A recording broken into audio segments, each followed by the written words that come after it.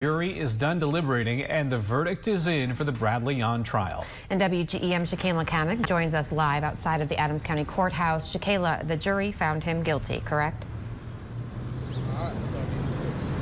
Yes, Mackenzie and Daniel, on this fifth day of court, 36-year-old Springfield man Bradley Yohn has been found guilty on all counts.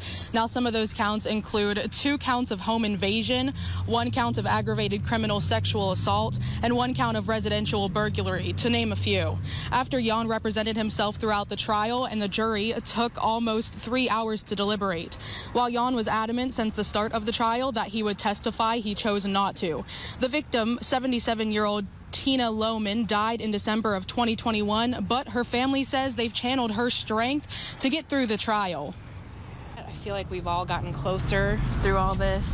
Um, it's been a real test of our family and our and our love and our strength, and we just channeled her strength because she was so strong, and um, she's what got us through this for sure. Just just thinking about her and how she would act and what she would do, and and she was a force to be reckoned with, and so are we. And coming up on WGEM News at 6, you'll hear from prosecutor Josh Jones about his reaction to today's verdict.